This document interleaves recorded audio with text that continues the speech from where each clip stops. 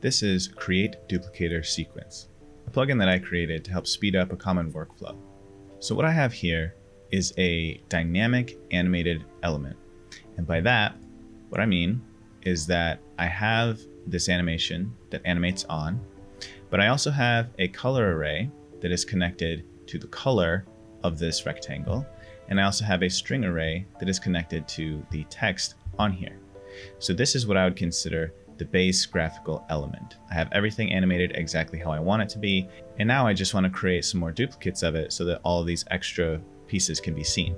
Without the plugin, it would take somewhere between 10 and 12 steps to generate duplicators and connect everything together, get the animation offset done correctly, which is why I have created the plugin duplicator sequence. So you can see here we have some settings. We have horizontal, text, reverse, object spacing, duplicator count, animation offset, and then create duplicator sequence. For this design, I want to use the base setup of duplicator sequence because I found it to be the most common. So what I want to do is I want to select all of the relevant layers. So that's everything except for this background shape. And then for this design, I'm going to leave horizontal unchecked, text unchecked, and reverse unchecked as well. The object spacing input lets you pick how much space goes between each duplicate. The duplicator count is how many duplicates you want, and the animation offset is how much offset you want in between each element running their animation.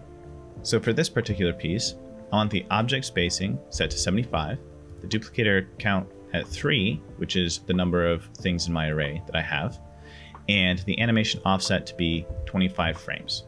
You can see here, this full animation takes you know, around 35, 40 frames, something like that, but I do want there to be an overlap in the animation. One thing to note is that the object spacing is based on the height or width of your element. And so here, because it's at a diagonal, this height is actually taller than it is here. So as you're picking your spacing, make sure that you are on the frame that you want it to reference the height of. So now we make sure that everything is selected and hit create duplicator sequence. So now you can see we have three duplicates running through their animation with an offset and each duplicate is slightly different because the arrays are connected in. Now, if we find that the animation overlap isn't correct or we want to change another setting, we can now just go back through the layers. So for this instance, we can open up the duplication sequence stagger and change this from minus 25 to let's say minus 10. And now we see that the animation overlaps much better. Duplicator sequence is also great for quickly creating things like bar charts.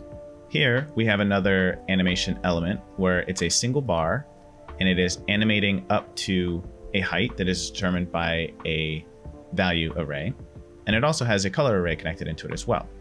So for something like this, what we would do is we would select our base bar graph, make sure to click horizontal, because for this bar chart, we're doing horizontal, and everything else is essentially the same.